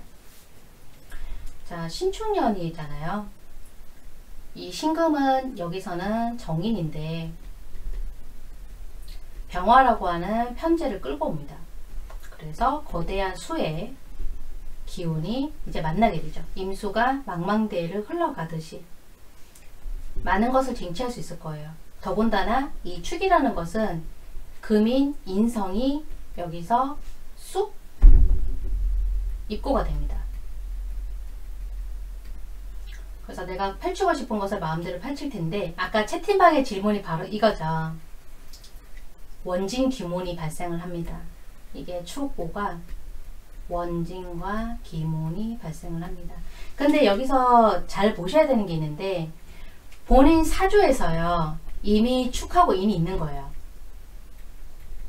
그러니까 뭐 축시에 태어났다거나 아니면 축 월에 태어났다거나 이게 일주면은 이미 원국에 있는 분들 있잖아요. 이미 원국에 있는 사람. 이미 원국에 있어요. 이런 분들이 원진 기문이 확실하게 들어왔을 때 흉한 걸로 나가요. 이미 있을 때. 무조건 안 좋은 게 아니고요. 그럼 없어요. 없으면은 그냥 오만 있어요. 다른 글자들 있고 축이 없어요. 내 사주에. 그러니까 원진 기문이 없어요. 그리고 결혼도 안 했어요. 그러면 그냥 저거는 지나가는 거예요. 그렇게 흉하지 않아요. 다만 기문이라고 하는 것은 뭐 빙이라든가 이런 게 아니고요. 귀신귀의 문문자인데 귀신이 아니고 여러분 여기서 사주에서는 에너지예요. 에너지 에너지. 어, 제가 왜 이 얘기를 드리냐면 귀신 글자가 들어왔다고 해서 무조건 빙이 되나요? 뭐 신내림 받아야 되나요? 이렇게 질문하시는 분도 있는데 제가 경신년생이고요. 네. 무조건 그렇지 않아요. 그냥 에너지 에너지. 사주는 에너지를 보는 거기 때문에. 자 어쨌든 얘기가 좀 길어졌는데 자 어, 이분들 글자를 지금 보게 되면 얘가 양이잖아요. 근데 오는 음이라서 양과 음이 잘 버무려진 상태고 이모 일주 자체를 참 저는 괜찮게 보는 게 이거 밑에 또 장독대 글자인 이 지장간을 까보게 되면요. 이게 병화와 정화 사이에 약하게 기토가 들어가 있는 그러니까 여기서 이 병화가 바로 편제잖아요. 여기 있는 거 그리고 이 토가 바로 관성이에요. 정관 즉 재성과 관성이 아주 적당한 위치에 잘 이렇게 박혀 있고요. 그리고 정화가 또 이제 여기서는 정제죠. 어쨌든 재관이 잘 버무려져 있는 또 표현이 좀 그런데 잘 버무려져 있는 아주 아름다운 일주예요. 이모일주가. 검은 말이죠. 아, 좋다. 물상으로 얘기하니까 검은 말. 제가 검은 강아지를 키우고 있어서 검은 말. 음, 참 물상은 괜찮은 표현인데 이분들이 일단 재성을 깔고 있잖아요. 아까 다른 일주할 때 이민이었나요? 식상 깔고 있을 때도 얘기를 들었지만 정제를 깔고 있고 이게 본기가 지금 정제죠. 날짜가 이제 며칠 사이긴 한데 남자분들한테도 그렇고 여자분들한테도 그렇고 배우자에 대한 기운에 내가 도움을 받는 게 있어요. 그래서 이 부분이 굉장히 원만한 형태로 흘러들어온 부분이고 그래서 이 일주도 제가 아름답다고 표현한 것은 의식주에 대한 부분이 남들만큼 걱정이 없는 거예요. 기본적으로. 뭐 나는 힘들다 해도 객관적으로 봤을 때는 남들만큼 힘든 건 아니에요. 그런데 다만 좀 답답하고 좀 복잡한 건 있어요. 왜 그러냐? 지장간에 있는 이 정제 있죠. 요거 요거 요거 지금 맨 끝에 적은 거 이거랑 요거 임수 있죠. 이 두 개가 정하고 임하고 이렇게 만나게 되면 저희가 천간에서 합을 이룬다 해요. 이게 이제 식상 작용을 일으키게 되는 거거든요. 식상화 운동을 일으키게 돼요. 밑에 여기 지금 깔려있는 이 정제랑 얘가 이렇게 서로 서로 이렇게 좋아하는 거예요. 그러면 식상화 운동을 하게 되면은 사람이 좀 바디랭귀지 같은 걸 엉뚱하게 가끔 할 수 있거든요. 내 마음이 싱숭생숭해지고 어, 평상시에 뭐 연하한테 관심이 없었다가 갑자기 저 글자가 작동을 할 때 늘 작동하는 건 아닌데 멀쩡하다가 갑자기 성향 자체가 어, 그런 사람들한테 끌릴 수 있다는 거. 그러니까 약간 좀 외도 같은 것도 할 수 있고 이 임이라는 글자 자체를 가지고 있는 이 청간 글자를 가지고 있는 임일간 분들 자체가 좋게 말하면은 좀 특이하신 거고요. 나쁘게 말하면 사차원이에요. 약간 생각이 좀 특이하세요. 어, 동전을 모은다거나 어, 아주 독특한 취미생활 나도 한 사차원 한다 하시는 분들은 임일간에 비하면은 명함을 못 내밀 정도로 임일간 분들이 좀 독특한 좀 생각 가치관을 가지고 계신 경우가 많은데 그 중에서도 이모가 좀 최고에 속하지 않나 이제 퍼센테이지로 따졌을 때 이 당장 돈이 되는 어떤 현실에 집중하시는 것이 아니라 돈이 안 되는 것들에 좀 집중을 많이 하는 경향이 있어요. 이모일주 같은 경우에는. 근데 이런 분들이 신축년을 맞이하게 되면은 귀문과 원진이 원래 글자가 있는 분들은 작동을 하기 때문에 배우자와의 관계에서 살짝 서먹해진다거나 대화할 때 예민해지고 관계 자체가 싸움이 일어날 수도 있고 또 아이가 있거나 임신을 하신 경우에는 그 부분이 좀 더 심해질 수 있어요. 원곡에 글자가 있는 경우에. 하지만 원곡에 글자가 이렇게 원진이 아예 없는 분들 그런 분들은 하시는 일에서 결과물 쪽으로 좀 더 성취하시게 되는 쪽으로 기문을 쓰게 될 확률이 커요. 그러니까 성적이 잘 나오는 거죠. 학생으로 따지면 성적이 좀 더 올라가는 거고 내가 상위권 학교를 노리고 싶었는데 올해 고3이다. 이 신축년의 고3이다. 이모일주다. 그러면 어, 내가 평상시에 하던 그 노력보다 좀 더 성적이 잘 나오고 학교를 좀더 잘 갈 수 있겠죠. 뭐 원진과 기문을 나쁘게만 보시지 말라는 거죠. 음, 이분들이 그 재성과 간성을 따지게 된다면 실제로 그 사업을 하시게 될 경우에는 좀 답답할 수가 있는 게 이 신유 공망이 돼요. 이분들 공망을 계산을 해보게 되면 그러면 신유 공망이라고 하는 거는 인성이 이제 공망이 걸리는 건데 어, 내가 실제로 어떤 거를 딱딱 부러지게 결정을 하지 못하고 사업하는 동업자한테 그냥 끌려간다거나 아니면 뭐 집안에서 어떤 가족 회사를 하고 있는데 나는 늘 그냥 우물우물하고 그냥 하고 싶은 얘기를 결정권을 못 내리는 거죠. 그래서 끌려가고 답답해지고 내가 하고 싶은 말을 못하고 그런 형태의 삶을 살 수가 있는데 이분들 개성과 관성이 힘이 있는 분들이세요. 기본적으로. 재관이 아주 어우러져 있잖아요. 12연성으로 봤을 때도 마찬가지거든요. 더 추고 원진 기문을 따지게 되면 이게 그래서 제가 좋은 쪽으로 해석을 하는 거예요. 추고 기문이 원진이 배우자 관계에 있어서 원래 글자가 있는 분들만 그렇게 흉한 쪽으로 많이 이루어진다. 근데 100%는 아닌 거고 글자가 일단은 오만 있다. 내가 일주에 저게 이모만 깔고 있다 하신다면 올해는 성적이 괜찮아요. 직장인 분들도 그렇고 사업하시는 분들도 그렇고 뭐 스타트업 같은 벤처기업 하시는 분들도 그렇고 신축년에 축을 만나서 축고가 작동을 하게 되면은 전체적으로 봤을 때는 좀 고충은 따르겠지만 결과물은 무시무시할 거예요. 몰입하시는 부분이 강한 분들이시고 실질적으로 좀 이제 한눈을 많이 파시겠지만 이 추고 기문이 오면서 바짝 잡아주는 게 있기 때문에 에너지가 좀 더 예민해지고 날카로워지고 어, 묘한 기운이 있습니다. 자 그래서 이모는 이렇게 얘기를 했고요. 자 채팅창 좀 보면서 제가 놓친 거 있는지 좀 볼게요.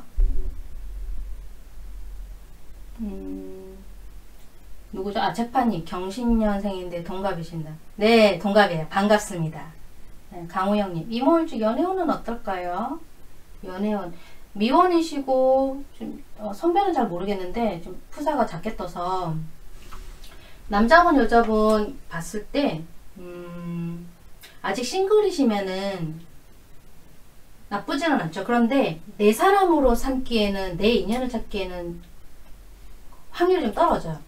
이게 뭐 결혼을 해야 되겠다 아니면 좀 벌겠다 이런 게 아니라 그냥 가볍게 연애를 하시겠다 그러면 약간 스쳐가시는 인연 쪽이에요. 이게 원진 기문이 들어온 부분이기 때문에 내가 평상시에 어, 사귀고 싶은 어떤 스타일이 있는데 그 스타일과 전혀 다른 분이 들어와서 연애가 이어질 수 있어요. 자, 이모는 여기까지 하고 이제 두 개 남았나요? 어디까지 했죠? 아, 이제 이제 임신인가 봐요. 네, 순서적으로 본 임신이에요. 네, 순서 틀린 거 없죠? 남자분이세요? 가벼운 연애는 가능하세요. 근데 본인의 스타일과는 다른 여자분이 들어오실 수 있어요. 음, 그거 아까 했던 얘기긴 한데 다시 정리해 드릴게요. 자, 2021년도고 신축년이죠. 또 타임라인을 하기 위해서 적습니다.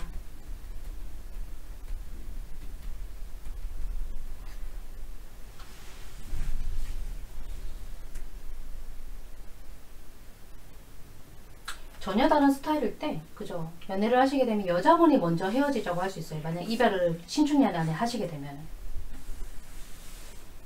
음, 연애는 가능하시다는 거예요 어쨌든. 자 그러면 볼까요 이제? 신축년이죠? 어, 생각보다는 지금 시간이 많이 안 흘렀네요. 10시 조금 넘었다고 뜨네요. 자 신축년인데 신금이 이제 정인이지만 역시 또 편재 병화를 끌고 옵니다. 그래서 수의 기운이 축축한 태음의 기질로 해서 천간에서 힘을 쓸 거고 다른 일간들은 힘들 수 있지만 임수들은 좀 다릅니다. 어, 이 수기운이 들어오게 되면서 임의 역할이 좀 더 커질 것이고 이 축이라는 것은 인성이 고지에 놓이는 부분이기 때문에 답답했던 부분들이 풀릴 것이고 평소 원하고 싶었던 것들이 전반적으로 풀릴 것인데 자 임신일주는 그러면 어느 정도 또 디테일한 부분으로 또 저희가 설명을 가능할까 이 신이라는 것은 임수 입장에서 봤을 때 편인이고요 금이기 때문에 그리고 어, 임수 입장에서 봤을 때는 얘가 가을, 그 가을 글자에서부터 기운이 시작이 돼요. 겨울에 왕성하기 때문에 이 신은 바로 임수 입장에서 봤을 때 장생지에 해당이 됩니다. 자, 그러면 일단은 축이 여기서는 이제 관이 되잖아요. 관이 되고 여기서 또 인성작용을 하는 거니까 인성을 끌고 있는 이 임신일주가 축년을 만났습니다. 그러면 또 입장이 어떻게 될까? 이분들은 신에서 이 임의 순서를 빼게 되면은 공망 숫자가 나오는데 그 공망 숫자를 돌렸을 때 술의 공망이 걸립니다. 역시 관이고 이제 비견이죠. 글자가 또 찌그러지고 있습니다. 자, 수레공망인 분들이 이분들도 또 이제 연애나 사업에서 빠질 수 없는 얘기인데 장생지를 깔고 있음에도 불구하고 배우자 운이 좀 떨어지는 일주 중에 하나예요. 임신이라는 이 글자를 일주로 가지고 있는 분들이. 왜냐하면 재성이 불이잖아요. 그리고 관이 이렇게 토면은 이 신이라는 글자를 우리가 봤을 때 재성은 여름에 가장 왕성한데 가을이 되면 좀 불안해지겠죠 아무래도. 남자 여자 다 그래요. 그래서 이분들은 이 임신일주들은 원래 좀 떨어져 있어야 돼요 원래. 연애를 하시더라도 매일매일 만나시는 거는 안 되고 한 달에 한두 번 정도. 그리고 부부 사이라고 한다면 직장을 좀 약간 거리가 있는 곳으로 두셔가지고 일주일에 주말에 이렇게 한 번씩 모여서 보는 주말 부부의 형태로 가시는 것이 좋고 어, 만약 붙어 있다. 내가 지금 함께 동거 중이다 그러면 한쪽 배우자분의 그 컨디션이 많이 나쁠 수가 있어요. 건강 자체가 좀 떨어질 수가 있는 부분이거든요. 그리고 이게 편인이잖아요. 신금이 편인이기 때문에 원숭이 글자 편인성을 깔고 있다고 한다면 이건 또 이제 기술을 얘기를 안 할 수가 없어요. 기술, 어, 자격증, 라이센스 어, 이런 직업적인 성공에서는 굉장히 괄목할 만한 성장을 할 수 있는 분들이시고 기술자가 그러면 돈을 많이 버느냐 그거는 또 약간 좀 거리가 있는 얘기거든요. 고충이 있어요. 기술은 있지만 어디 가서 잡부 역할만 한다던가 실제로 이것저것 불려주는 데는 많은데 나한테 내 월급 통장에 실제로 꽂히는 내 몫의 돈은 불안정하다는 거죠. 그게 임신일주의 고충이라면 고충이고 신축년으로 이제 그 운이 작동하게 된다면 응? 누구예요? 잠깐만요. 아 개인호는 죄송하지만 채팅창에 언급하시면 제가 답을 못 드려요.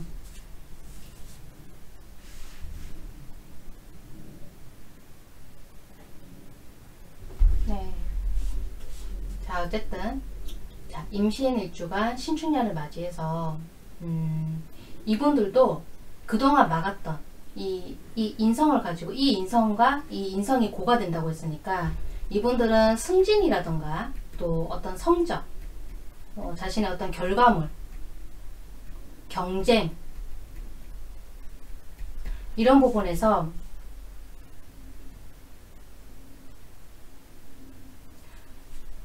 평상시에 가지고 있던 것보다는 확장이 돼요.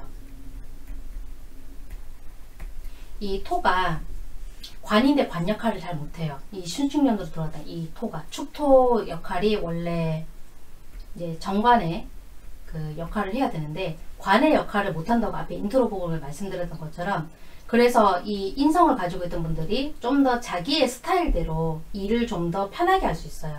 그래서 확장이 되고 성적이 오르고 학생분들은 결과물이 빵빵해지고 경쟁에서 이제 밀리는 게 아니라 임신 일주분들은 경쟁에서 좀 더 유리해져요. 뭐 오디션에 나간다거나 아니면 어떤 경연대회에 나간다거나 어, 요즘 기업들마다 어떤 실력을 뽐내는 자리에 가게 된다. 그러면 임신일주가 만한 어떤 성과를 낼 수 있어요. 근데 배우자운 같은 경우는 조금 떨어지는 게 여성분들은 남자분들, 그러니까 상대편 분들한테 어 약간 투명인간 취급을 받을 수가 있고요. 또 남자분들 같은 경우는 상대방이 좀 무심해질 수가 있거든요. 음, 금전운도 해자, 해자축 흐름으로 봤을 때 기해년 2019년도 경자년 이렇게 봤을 때 어, 축에서 이제 인으로 가기 위해서 금의 껍질이 깨지는 부분이다 보니까 그동안 답답했던 그 일적인 어떤 방해들이 걷어지는 효과가 있어요. 그래서 임신일주가 어떻게 보면 이득을 좀 많이 보는 케이스네요. 지난 2년 동안의 그 답답했던 부분보다 이 춘년일 때 조금 더 해방이 되는 건 있습니다. 임신일주도 괜찮아요. 아까 누가 임신일주였다고 했던 것 같은데 어, 어느 분이셨죠? 아까 아까 내 봤는데 아까 봤었는데 하여튼 좋아요. 음, 좋고 배우자와는 원래 이제 불안하신 부분이 있으니까 좀 신경을 쓰셔야 되죠. 남자분보다는 여성분들이 좀 더 신경을 쓰셔야 되는데 남자분들은 무심해져요. 아무래도 음의 시기를 지나고 있으니까 내가 받는 게 더 많지 답답한 거는 좀 떨어지거든요. 그래서 배우자한테 좀 신경을 좀 덜 쓸 수 있어요. 음, 또 볼게요. 오화가 월짐은 어때요? 여름에 태어났다는 거잖아요. 그죠? 여름에 태어났다. 아, 뜨거울 때 태어나셨네요. 뜨거울 때 태어나셨으면은 지금 질문 주시는 게 아마 여성분이실 것 같아요. 어때요? 라는 거는 지금 뭘 물어보신지 모르겠는데 일주가 임신이라면은 나쁘지는 않죠. 뭐 금전이나 이런 거는 지금 다 말씀을 드렸고 튜브님 임신일주입니다. 아 임신일주 분이세요? 네 임신일주는 전반적으로 괜찮은 편이에요. 특히 직장인분들 경쟁을 하셔야 되는 분들 이런 분들은 신축년에 괜찮습니다.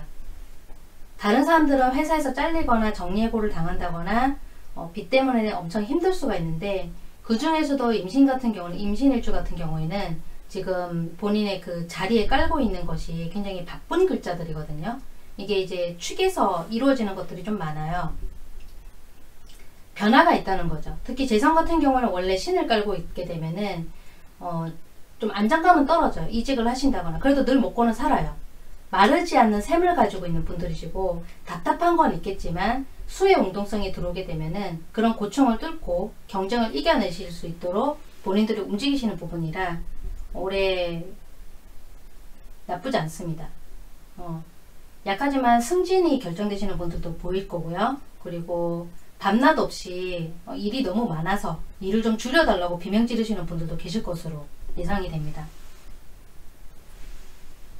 네, 오늘은 임, 인, 이민부터 해서 임자, 임자, 이민, 이밀간들만 한다고 제가 공지 드렸습니다. 나머지 관련 없는 질문은 제가 답을 안 드립니다.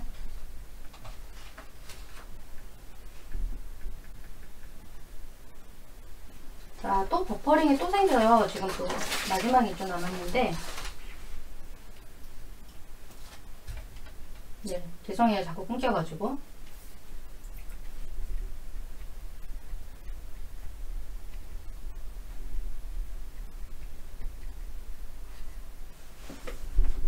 아니 왜 공지를 하는데 자꾸 자기 일주 봐달라고 그러세요. 내가 한두 번 내가 욕을 안 했는데 진짜.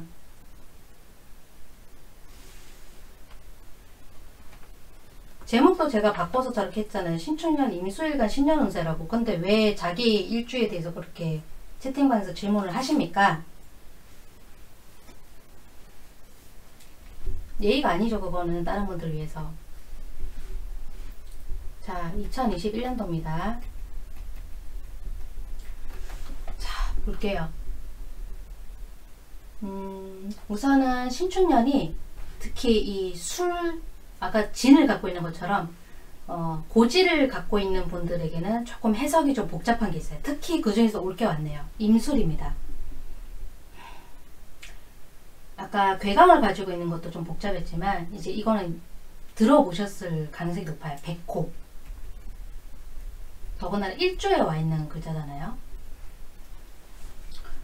무섭다고 하시는 그 백호. 그게 이제 임술인데 자, 한 번 더 볼게요.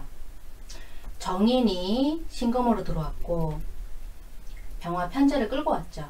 그래서 병신 합으로 인해서 수의 기운이 그래서 태음이 축축하게 내년에 힘을 쓸 겁니다. 그래서 축축하고 폭탄의 글자인 축토가 움직이는 부분이라 내년 전반적으로 어떤 일들이 아주 큰 흐름들이 이제 막 뒤집어지고 뭐 사건 사고도 많고 여러 가지 걱정하시는 일들이 펼쳐질 수 있을 텐데 이밀간들은 조금 유리해요. 왜 그러냐? 자 여기서 금의 고지인 축이 왔기 때문에 그런데 그 중에서도 임술일주 분들은 또 어떠한가? 형이 걸리거든요. 일단은 형이 걸려요. 더군다나 축술이 걸리기 때문에 관과 간이 만난 거죠. 이 토가 여기서 관이잖아요. 이게 편관이고 이게 정관입니다. 근데 이제 안심하셔도 되는 거는 이 축은 관의 역할을 잘 못해요. 왜냐하면 흘러온 것 자체가 해자 축으로 흘러왔거든요. 기해년이 2019년도였고 경자년이 지금 올해 2020년도고 2021년도가 신축년입니다. 이렇게 흘러와서 수의 운동성으로 인해서 음의 운동을 해서 이제 마지막 음의 운동을 하는 행 거죠. 관의 역할을 못한다는 말은 2016년도 병신년부터 유지를 해오고 있던 금이 껍질을 더 이상 유지를 하는 의미가 없다는 뜻으로 이제 축에서 자기의 옷을 벗는 해기도 합니다. 근데 임술은 한번 보시면 그 관을 깔고 있는 일주잖아요.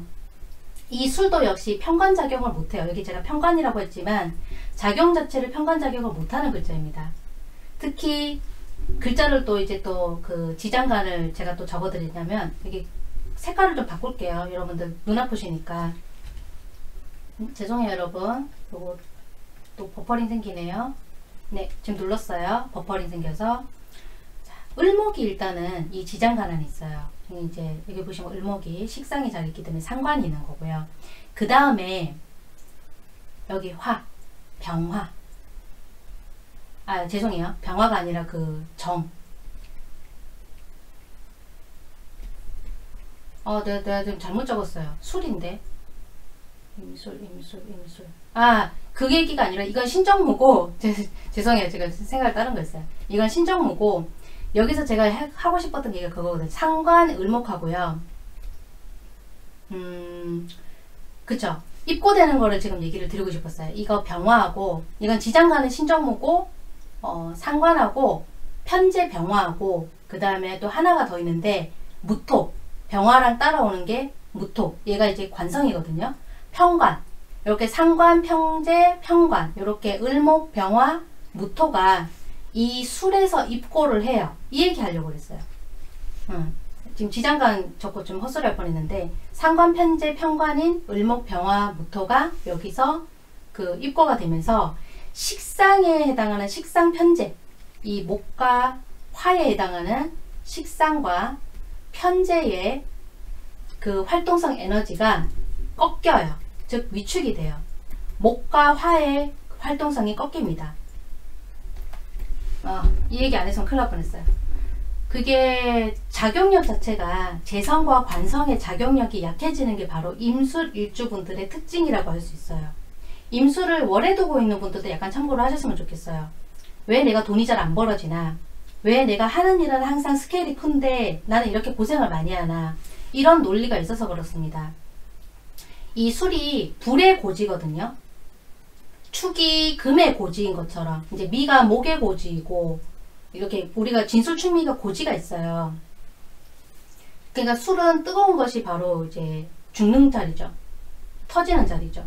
그래서 어쨌든 이 평관 기능을 깔고 있는 분들은 임술일주 분들 같은 경우는 직업적으로 내가 전문인으로 성장을 할 수가 있는데 뭘 해도 잘해요. 저처럼 사주 역학을 하게 돼도 어, 굉장히 유명해져. 한국에서 제일 유명한 사람이 될수 있어요. 임술일주가 만약에 한다 그러면. 그리고 그게 꼭 역학이 아니더라도 어떤 전문적인 부분, 기술을 갖고 있다거나 뭐 예술 활동을 하신다거나 내가 그림을 그린다거나 악기를 켠다거나 어떤 한 기회를 가지고 아주 치밀한 전문가가 될 수 있는 일주가 임술이에요. 그런 분들이 신축년의 형을 만나기 때문에 자기가 깔고 있는 이 식상과 편제가 위축된 부분이 이제 여기서 형이 된다면 거의 뭐 충에 가까운 어떤 에너지의 그 싸움이 일어날 수 있는 거죠. 축술이 만나게 된 거니까. 그럼 여기서 직업적인 부분에서도 어떤 일이 있을 수가 있어요. 특히 뭐 금전이라든가 사업원 자체가 위축됐던 분들 같은 경우는 에너지에 큰 파장이 일어나는 부분이니까 결과가 뒤집어질 수 있어요. 결과가 세질 수가 있고 경쟁을 하지 않았던 분들도 내 위에 있었던 어떤 다른 더 센 사람이 나타나서 경쟁이 일어날 수가 있는 거고 어, 그동안 편하게 어떤 1인자의 자리를 지키고 있던 분들은 이제 드디어 왕관을 벗어야 하는 일도 생길 수가 있어요. 하지만 결과는 괜찮아요. 경쟁을 통해서 일어나는 일이니까 관과 관이 싸우게 되는 거고 운의 성세 기복 자체 그러니까 오르고 내리고 하는 것들이 임술이 가장 센 분들이시고 남자든 여자든 간에 공통적으로 이분들 같은 경우는 역시 배우자 운 자체가 좀 불안정하신 분들이거든요. 남자분들은 이 지장간 속에 아까 신정모 얘기를 하다가 제가 이렇게 싹 주었는데 지장간 속에 이제 여기 제가 적어 볼게요. 말만 하면 또 와닿지 않으니까 이 지장간 속에 보시게 되면 이게 재성이에요. 정화가 이게 정제란 말이에요. 임수일관들한테 이 술 속에 들어있는 거. 이 재성을 바라보고 있는 것이 아니라 관성의 작용 자체, 이 토의 관성 자체가 제한적이기 때문에 부인을 정말 좋아해서 결혼 생활을 유지하시는 분들이 아니고요. 임술일주 분들 같은 경우는 관이 남자한테는 자식이라 그랬거든요. 평관 정관이 자식이에요. 자식을 바라보고 내가 가정 생활을 유지를 하시는 거죠. 어, 그런 분들이 결혼을 유지하시는 경우가 좀 많고 또 이게 신축년으로 오는 거니까 아무래도 이번에는 남자분들 입장에서 생각이 좀 더 많아지고 고충은 여성분들이 일반적으로 많다고 했지만 남자분들 임술도 만만치 않아요. 네, 또 버퍼링 걸려서 또 눌렀어요. 이제 거의 끝나갑니다. 이번에는 얘기를 조금 더 플러스한 게 남자분들이 결혼 생활을 유지하는 부분에 대해서 회의를 많이 느낄 수가 있고 그리고 사업적인 부분에서는 직장에서 상당한 어떤 그 밀림 현상이 있을 수가 있어요. 거의 고비다. 거의 나는 이거 아니면은 다른 데로 가야지. 이게 한계야. 이게 마지막이야 하는 것들이 이 신중년에 펼쳐질 일이 많고요. 그리고 송사 같은 것도 걸릴 수가 있어요. 이분들 원래 임술 자체가 이 기둥 가지고 있는 이 분들 자체가 어떤 관제 법원에 가셔야 되는 어떤 시비수 또 관제라고 한다면 또 송사적 그러니까 법적으로 부딪힐 만한 일들이 단어를 좀 뽑아보자면 관제 시비 송사가 있는 부분인데 형으로 걸리는 부분이니까 올해 그런 경쟁적인 부분들이 좀 많이 들어오고 그래도 쟁취를 하실 수 있을 거예요. 결국은 내가 얻어지는 부분이고 내가 유리한 부분이기 때문에 이 충년은 임수분들한테 유리해요. 본인이 힘 조절을 오히려 하셔야 돼요. 내가 너무 강하니까. 송사가 걸리면 이기는 쪽이고 내가 증거 불충분이라 하더라도 죄가 이제 가벼워지는 쪽이죠. 내가 죄를 저질렀다고 해도. 그리고 배우자운 자체는 원래 약하지만 올해 이제 신축년 넘어가게 되면 남자분들보다는 여성분들 쪽에서 먼저 어떤 관계를 포기하게 될 확률이 높아요. 자, 이제 또 채팅방 보고 제가 놓친 거 있으면 또 하나 첨부하고 그렇게 방송을 마무리를 짓겠습니다. 제가 볼게요.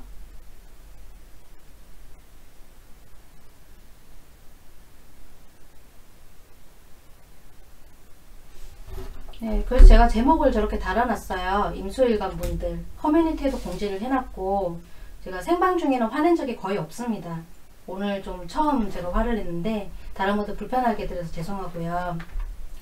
자, 오늘 이렇게 임, 일간분들 좀 집중적으로 얘기를 했는데 어, 좀 어떠셨는지 모르겠어요. 이게 배우자운 얘기도 했었고 또 어떤 송사, 관제, 또 사업운 또 이제 지금 시기가 시기인 만큼 어떤 매매라던가 사업에 대한 제기 이런 것들도 좀 언급을 해드렸는데 어떤 분들에게는 이 오늘 좀 기다려셨던 분들도 계셨을 것이고 그 특정 단어에 대해서 또 어떤 분들은 또 잘 와닿지 않는 부분도 있을 거예요. 그래서 월이랑 같이 보는 것을 추천드리고요. 본인의 계절과 함께 대입을 해서 오늘 보셨으면 좋겠습니다. 네, 늦은 시간인데도 많이 와주셔서 감사드리고요. 여러분들 다음 때는 또 제가 커뮤니티 공지 올리고 개수일간 진행을 할게요. 아마 며칠 안으로 올릴 것 같고요. 이번 주에도 다음 주 주간 운세 목요일이나 금요일 정도에 또 실시간 방송으로 진행을 하도록 하겠습니다. 여러분들 응원 너무 해주셔서 감사드리고요. 네, 댓글 하나하나 잘 보고 있습니다. 감사합니다 여러분. 또 뵙겠습니다. 고맙습니다.